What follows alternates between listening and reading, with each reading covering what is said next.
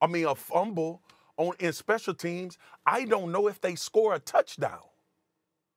Like we, that's all part, but that's all part of the game. He, I know, but very rarely do you have a turnover in special teams. Very rarely. Like in in in the playoff, especially San Francisco. All right, and then Key, guess what happens after that? The man come back and run the damn ball for 50 or 60 yards, damn near to the end zone on the next one. I this, this is what I so this is where my frustration lies. And this is why Stephen A can get me every single year. Because I scream on this damn network, we ain't good enough to win a Super Bowl.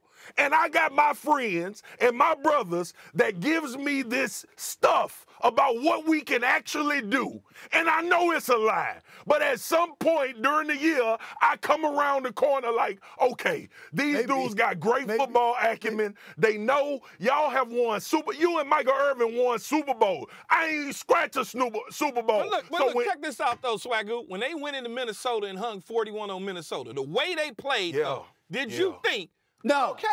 No. Not no. you, him. I'm talking he, to. No, the because Minnesota was, was, garbage. Yes, I man. Minnesota was garbage, but to get beat down like that. Key, you know what gave me a little you bit of can't pause? think of that way. You know what gave me a little bit of pause? The way that they played against Philly in and that last Philly. season game. The way they played against Philly, I said, well, if this can travel, this team potentially has a chance.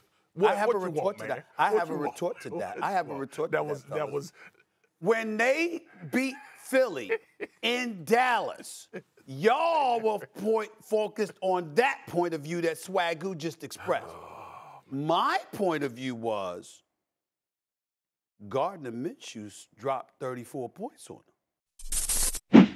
Thanks for watching ESPN on YouTube. For live streaming sports and premium content, subscribe to ESPN Plus.